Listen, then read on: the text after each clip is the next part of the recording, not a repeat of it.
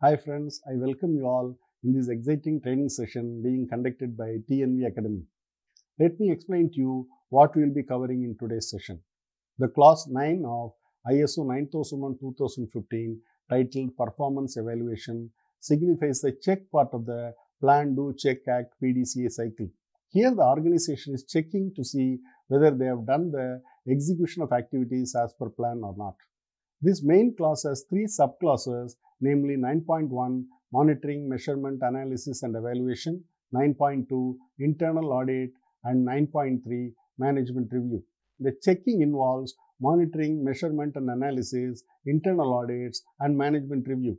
From the outcomes of the checking process, any deviations can be identified and course correction towards continual improvement can be done by the organization. In today's session, we will be covering the clause 9.3 Management Review and this comes under the main clause 9 which is Performance Evaluation. Now let us understand about the internal references taken by the clause 9.3 of ISO 9001-2015. As far as this clause is concerned, this takes reference from ISO 9000-2015 standard.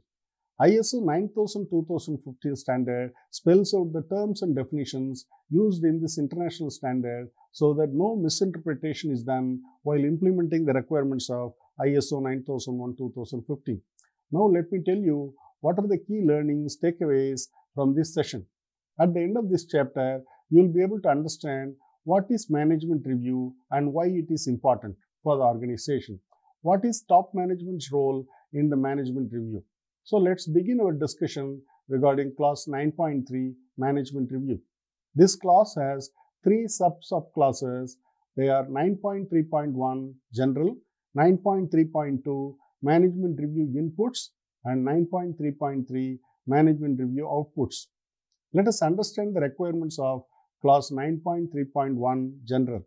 ISO 9001-2015 states that top management shall review the organization's quality management system at planned intervals to ensure its continuing suitability, adequacy, effectiveness, and alignment with the strategic direction of the organization.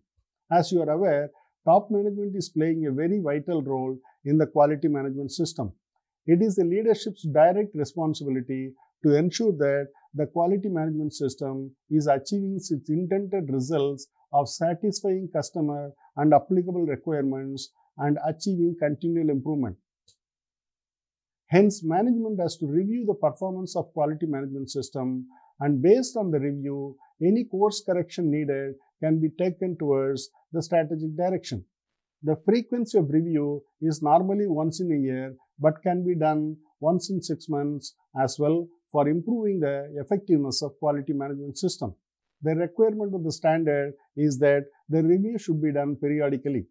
Now let us understand the requirements of 9.3.2 management review inputs. The management review meeting is a formal arrangement with the agenda for discussion and recording of the minutes of the proceedings of the meetings. This is normally convened by the management representative and chaired by the top management.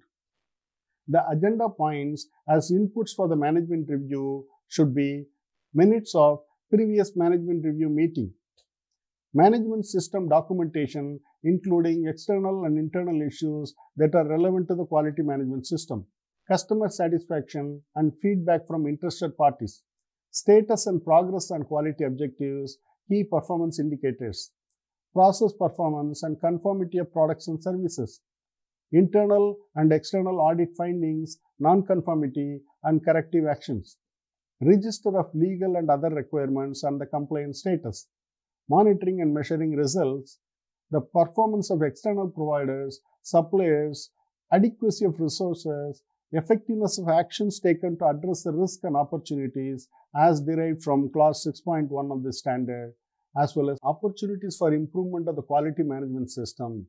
The points are discussed and decision taken are recorded in the minutes of the meeting. Now let us discuss the requirements of clause 9.3.3 management review outputs. The ISO 9001-2015 states that the outputs of the management review shall include decisions and actions related to opportunities for improvement, Any need for changes to the quality management system? Resource needs. The organization shall retain documented information as evidence of the results of the management review.